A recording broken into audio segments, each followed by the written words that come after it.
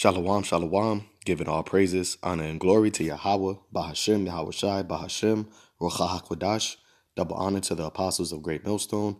Peace, love, salutations, and blessings to the house of David, which is the elect, the men, women, and children that are predestined to receive salvation and to be the first fruits of the kingdom of heaven, which is the kingdom of Israel.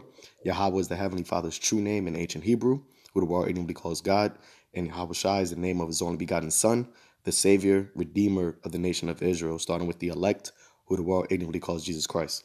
So I uh, just wanted to, you know, touch on what's what's going on, you know, staying on staying on our watchtower, okay, being uh, you know, commentators, all right, and spectators of what's been happening, um, you know, witnessing the demise, the end of uh Esau's age, all right, and then the ushering in of the world to come, all right, you know, being fulfilled when the elect is uh, sealed and Yahweh Shai you know, uh, comes back and redeems us and destroys uh, Esau's kingdom.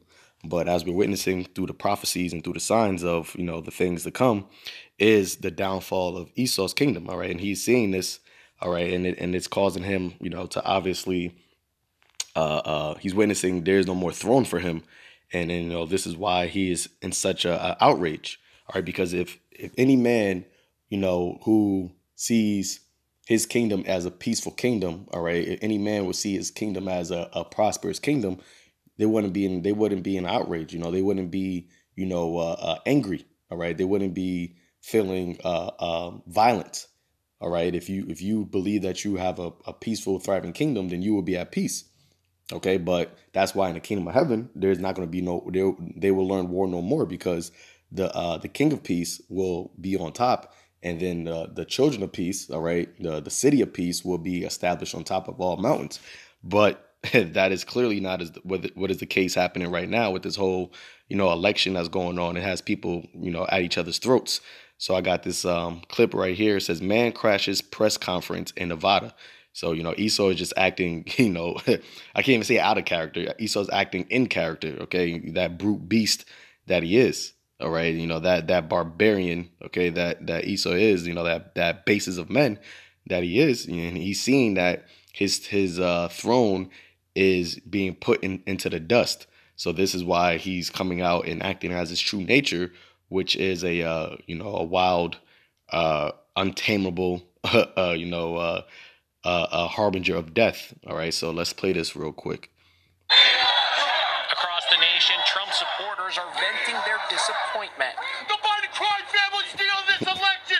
This dude crashed a press conference held by election officials. Look at look at Esau.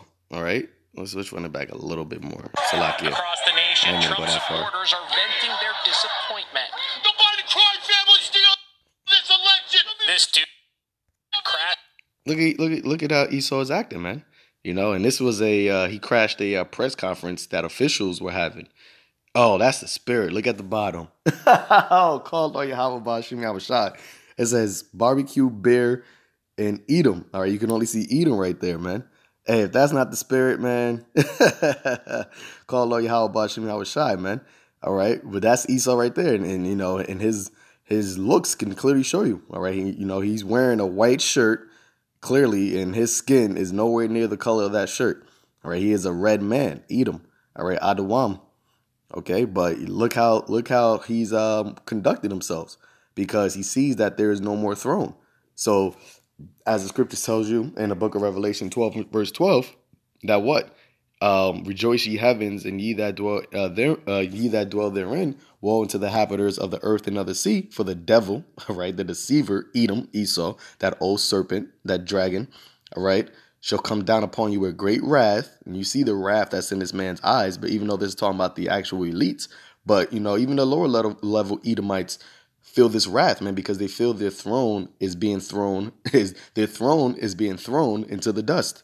All right. There is no there is no throne. Okay. It says what? Uh, should come down with great wrath because he know he has but a short time. All right, but hey, that's the spirit right there, man. It says uh, barbecue, bear, Edom. All right, it's probably the whole word is probably freedom, but hey, the Lord just gave us a little, you know, gave us a spiritual treat right there to let us know, man, that hey, the Lord is working, man. Call Lord Yahweh Bashim Yahushai. The press conference held by election officials in Nevada. Les Trent is in Philadelphia, where passions are running high. Here in Philadelphia at the Convention Center. The ballot counting continues for the third day. Outside, loud crowds supporting Joe Biden. Donald Trump have gathered.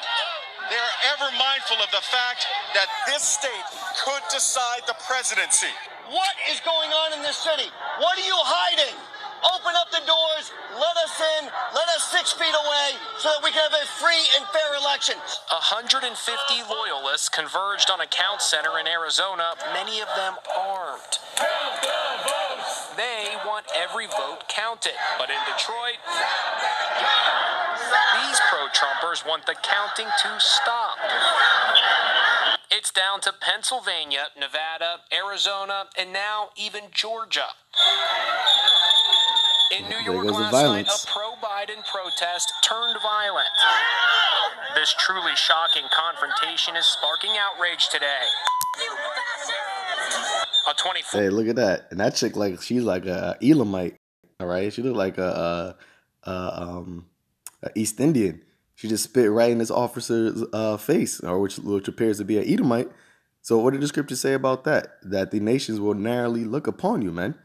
Okay, because Esau is, is the is the issue, right? He is the cancer of the earth. Yeah, of course, these other nations also have played their part in our uh, downfall, and they're most certainly going to be uh, recompensed.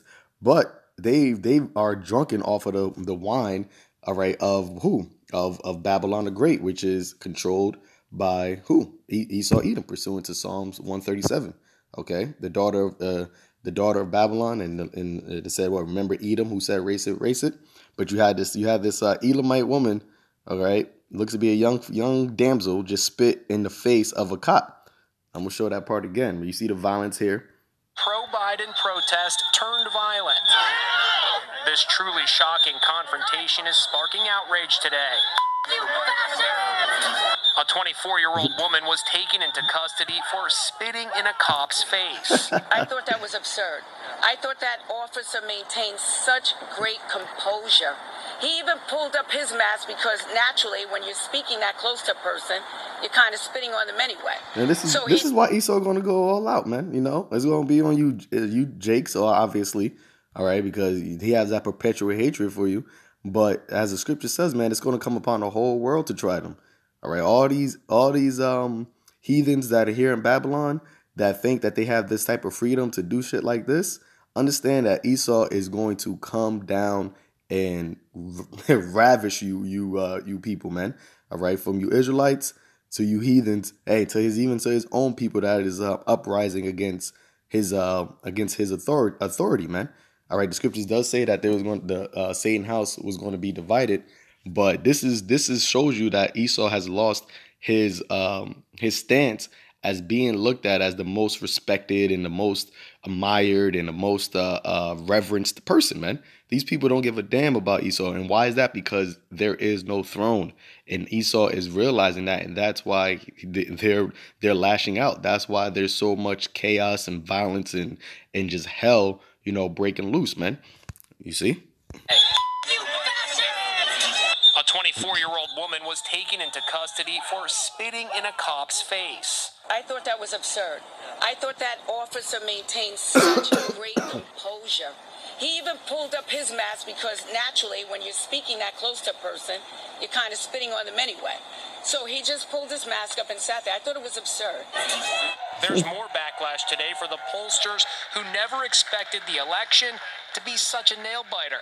Completely missing the look mark. At it. Look at him. I mean, this is pathetic. You can't. You hear this? I'm sorry, you know, Salak if for keep stopping, but I want to just harp in on these things, man. These people, they're saying that their presidential election, which is the, you know, the the pinnacle of the obviously the highest seat in Babylon, uh, as opposed, you know, face wise, because we know that who's really pulling the strings behind all these closed doors, but they're looking at these elections as something that's supposed to be honorable, something that's supposed to be, you know, uh, democ- you know, uh, uh, democratic, you know, uh, the, the, you know, represents democracy and all these things. And they're saying what? It's pathetic. All right. These Edomites are fed up with what what's going on in their society, all right, in their kingdom, because they're seeing their even though they might not say it verbatim, but this is the feeling that they're getting, man. And we obviously have that spiritual eye to see it, that they're witnessing and they're sensing that their throne is being casted down, man. as Yahweh Shah said that he beheld Satan fall as lightning from heaven. Okay, and, and it's been and it's happening really quick, man. Esau is becoming, especially the Edomite man, but even Edomite women too, because of this whole Karens, you know, these things like that. You know, the, the woman's supposed to be the glory of the man, but even Edomite women are being hated because of how they're conducting themselves, because they're lashing out, because they're seeing that their throne is leaving as well. You know, so the the the, the glory of Esau, all right, the, the the glory which is supposed to be the woman, all right, they're even being despised, you know, uh, because of all these Karens and uh, and, and all their um, and the way that they've been conducting themselves for the past couple years, man. It's all everybody is pointing the finger at you, devils, man. All right, everybody's narrowly looking upon you, devils. All right, and you're seeing it and it's hurting, and you even narrowly looking upon yourself, seeing how being divided. You got one side calling the other side you know, uh, the the evil. All right, and I just had you know I, I work with a, a, lot of Edomites.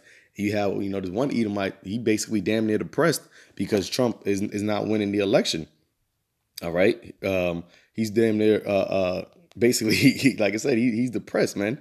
Um, and he had another Edomite man talking about that um that uh he just he's just fed up with everything that's going on okay? Because it, it's just all just coming a shit, a shit, uh, shit show. Salakia, a shit show. So he he just wants it to be done with. So these, like I said, man, Esau is realizing that is no is no more throne for him. All right, but of course he's not going to just you know walk off into the sunset and just give it up. You know, he he he's going to do what he does, and and he's going to come down violently, man. Okay. Any worse? Florida, Ohio, you name it, all across the country. Pollsters don't know the late night comics unleashed on the pollsters. Why did we believe the polls again? Don't trust any industry that calls you on your landline, okay? So yeah, man. So I just wanted to play that. Let's get a, a couple scriptures, not too much. Close it out. Uh, this is Ecclesiasticus chapter 10, verse 8. It says, Because of dealings, injuries, and riches got by deceit, the kingdom is translated from one people to another, and that is what is happening. This kingdom, the rulership, the dominion is being translated from one people to another. And as it is written, that Esau is the end of the age and Jacob is the beginning of it that followeth. You know, as Esau is under unraveling and and and crying and you know just just just being brought down low, what is happening? The Lord is closing up the breaches of the house of David, man. We're we're we're crying out to our Father? Are we remembering ourselves in the land of our captivity? Are we remembering that we are the the, the, the true sons of the power, Yasharala, remembering the name of, of our Father, the name of his Son, rehearsing the righteous acts, keeping the faith in sincerity and in truth? All right. And this is why all these things are happening. It's a simultaneous uh, uh, action, man. The, the, the action of Israel waking up is causing a reaction of Esau going down.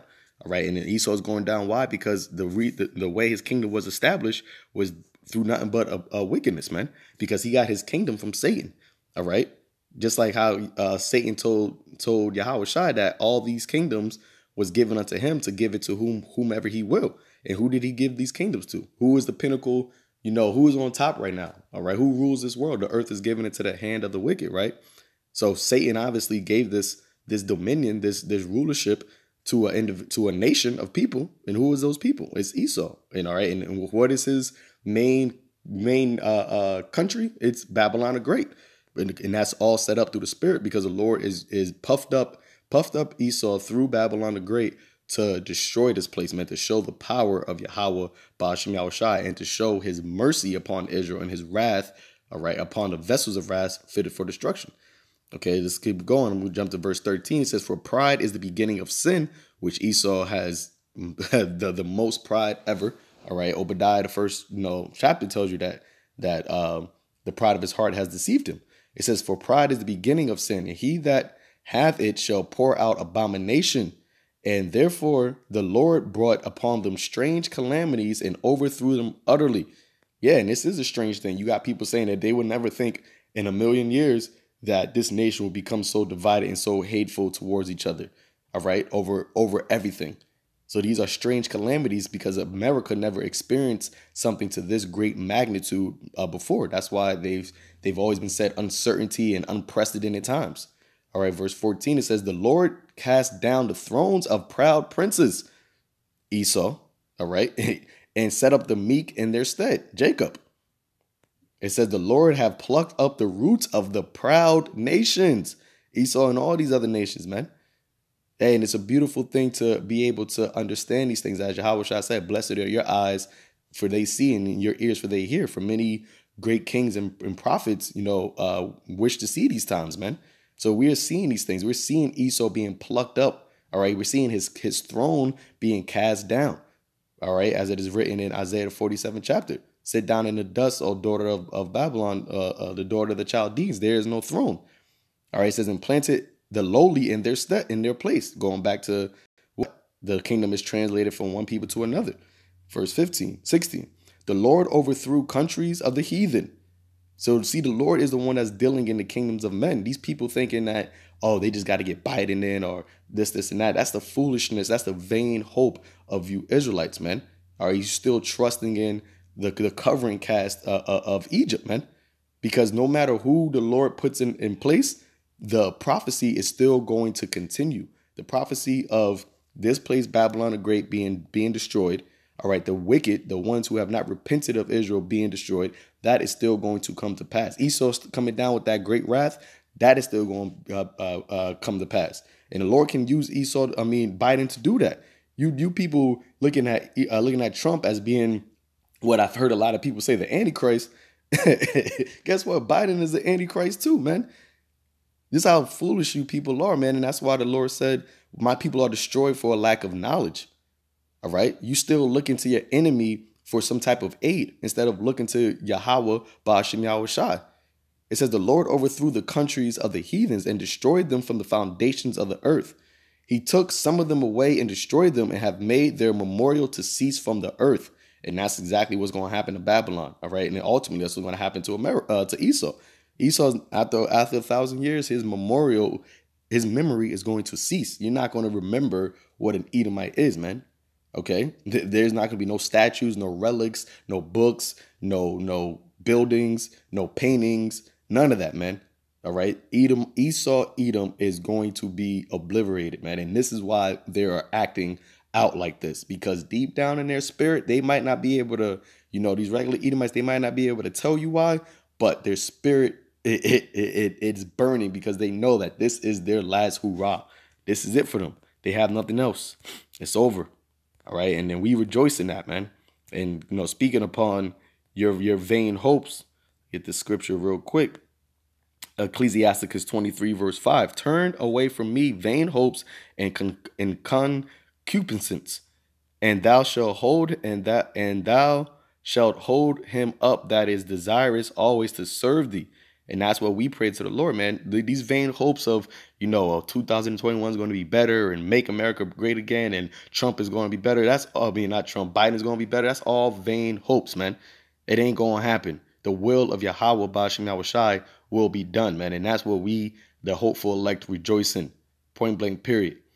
All right, this uh one more. Let me get this in Ecclesiasticus um uh, uh, Ecclesiasticus 33, verse 1. There shall no evil happen unto him that fear the Lord, but in temptation, even again, he will deliver him. Yeah, why? Because we know that the hour of temptation is coming, but we also know that the Lord will deliver us, will keep thee, as Yahweh said, because we have kept the word of his patience, he shall also keep thee from the hour of temptation that shall come upon the whole earth to try them. So it's going to come upon these heathens, these, these other Edomites, all of it. Jacob's trouble is going to come upon the whole world. But who the Lord is only going to rock with? Who is the Lord only going to deliver? The ones that fear him in, in spirit and in truth. So no evil. Evil is going to happen on this earth. Evil, great evils and great mournings and great death, as it is written. But it's not going to come near, nigh unto our dwelling, man. Unto the hopeful elect, the, the house of David and he will deliver us in these times, man. So that's why we uh, are hasten these days to come.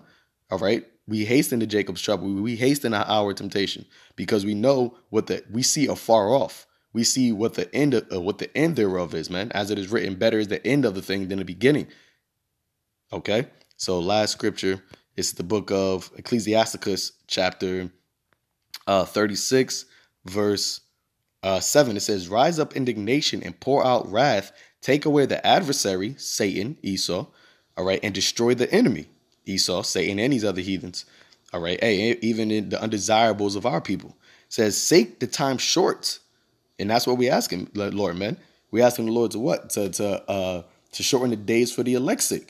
It says, "Remember the covenant, the covenant of who? Abraham, Isaac, and Jacob, and let thy declare and let them declare thy wonderful works. Let him that escapeth by be consumed by the rage of the fire, and let them that perish, and let them perish that oppress the people. Smite and sunder the heads of the rulers of, of the heathen. Starting with who? Esau. And that's what the Lord is about to do. He, the Lord is going to let Esau think he about to get his uh, rocks off, okay, thinking that he's about to fill his belly. But really, that's the Lord setting him up for the ultimate destruction, man. The ultimate counterpunch. It's gonna be that haymaker that's gonna knock him out and completely. All right, he gonna smite and smite and sunder the heads of the rulers of the of the heathen that say there is none other but we, and that's Esau's mind. When you read in the book of Isaiah, the 14th chapter. All right, it says, gather all the tribes of Jacob together. All right, speaking about the Israelites, the elect from from the 12 tribes of Israel, who are the so-called Negroes, Latinos, Native Americans, Seminole Indians, and their descendants that may look like the other nations and speak the tongues, but have repented and have been called from the beginning to receive salvation, and inherit thou them, the first fruits, as from the beginning. So you know, hey, so we seeing Esau's his throne is is being removed, and it's not going to come back, man. All right, and this is a beautiful time that we're living in. If you are in the know, if you are watching, and, and as well as praying, as Yahweh Shai said to do. So you know, with that, Lord willing, edifying unto the elect. Call Lord Yahweh Bashim Yahweh Shai Bashim Rakak Till next time, Shalom.